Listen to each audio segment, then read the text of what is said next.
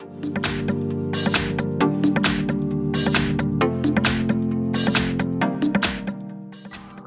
Hi! In front of me is Samsung Galaxy S22 and today I would like to show you how you can switch on or off fast wireless charging on this device. First of all, go into settings, then scroll down and click on battery section over here, battery and device care. Now click on battery one more time over here, scroll all the way down and choose more battery settings. Then scroll down one more time and click on the switcher next to fast wireless charging. As you can see, fast wireless charging is now off, but you can always turn it back on by clicking on the same switcher. Thanks so much for watching, if you enjoyed this video, leave a like, comment and subscribe. Bye!